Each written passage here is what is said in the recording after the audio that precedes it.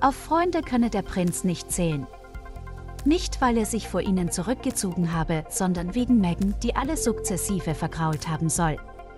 Sie hat sich in ihre WhatsApp-Nachrichten eingemischt und hat versucht, ihn davon abzuhalten, sie zu sehen, behauptet der Insider und führt weiters aus. In Montecito gefangen zu sein, führte dazu, dass Harry sich noch mehr nach alten, vertrauten Gesichtern sehnte.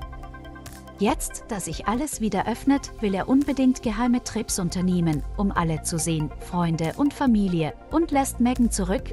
Kürzlich machte er alleine einen Ausflug zu einem Rodeo, obwohl er wusste, dass Megan die Tierquälerei ablehnt.